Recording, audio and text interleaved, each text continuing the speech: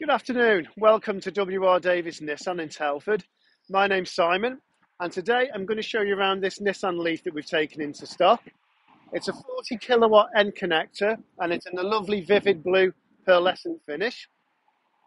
As you can see from our front number plate, all our Nissan cars come with what's called the Nissan Intelligent Choice package. So what that means for you as a customer is a minimum of a 12 month warranty. Should the car require a service within the next four months, we will do that. And if it has less than nine months MOT, we include that as well.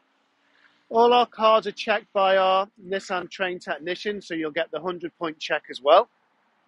Let me just show you a little bit more around the car.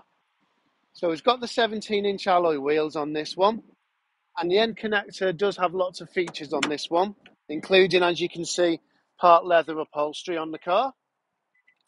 They're all five door vehicles as well. So, and as you can see, lots of leg room in the back of the vehicle as well.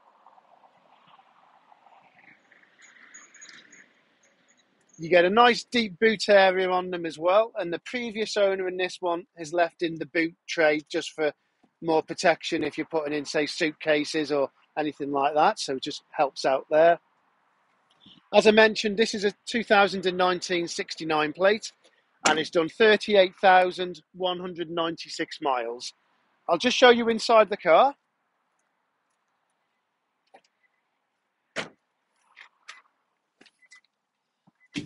So some of the features with the N-Connecta, as you can see, it has the satellite navigation system.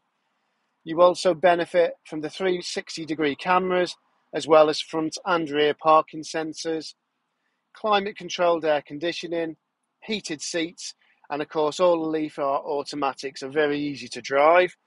And then lots of other little features such as Bluetooth, cruise control, automatic lights, and rain sensitive wipers as well.